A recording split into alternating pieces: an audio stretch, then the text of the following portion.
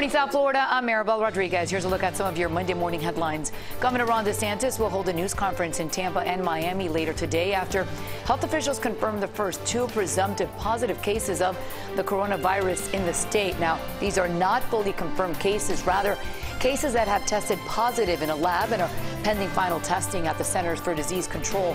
One is in Hillsborough County, the other in Manatee County. Governor DeSantis has declared a public health emergency in the entire state. Two people in Washington state are the first people in America to die from the coronavirus.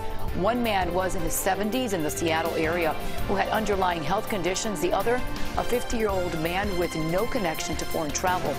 New York, Rhode Island, and the Dominican Republic are also reporting their first cases of the disease.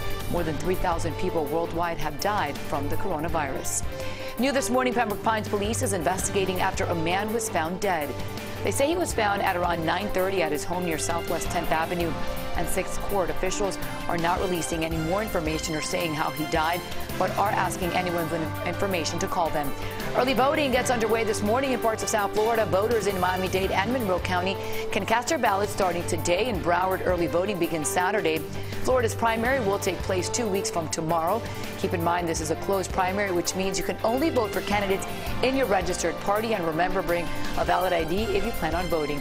And that's a look at some of your Monday morning headlines. Make sure to join us later for CBS 4 News at noon and get updates anytime on CBSMiami.com.